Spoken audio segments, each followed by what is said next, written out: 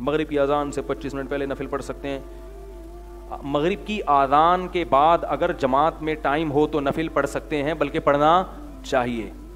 समझ रहे हो? हदीस से साबित है। क्लिप। सो रहे होते हैं यार, इनको पता ही नहीं होता। अहनाफ के यहाँ मगरिब की आज़ान के बाद नफिल पढ़ने पर पाबंदी नहीं है। हाँ अहनाफ के यहाँ ये ज़रूर है कि मगरिब में इमाम को चाहिए जल्दी करे। इमाम को क्या चाहिए? मगरिब की नमाज़ में जल्दी करे।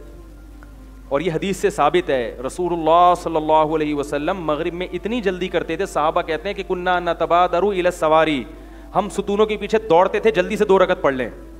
इस हदीस से ये मुतरश होता है, मफहूम होता है कि बाकायदा नबी की तरफ़ से वक्त नहीं दिया जाता था, लेकिन जितना टाइम नबी सल्लल्लाहु अलैहि वसल्लम के मुसल्ले तक पहुँचने में घर से होता था, उसमें साहबा जल्दी जल्दी दो नफिल पढ़ लिया करते थे। हम भी ये कहते हैं कि अजान के फ़ौरन बाद इमाम नमाज़ खड़ी करे, अगर इमाम किसी वजह से ताखिर कर रहा है, जैसे मैं दो मिनट ताखिर करता हूँ इसलिए कि अजानों के बाद लोगों के लिए पहुँचना मुश्किल हो रहा है।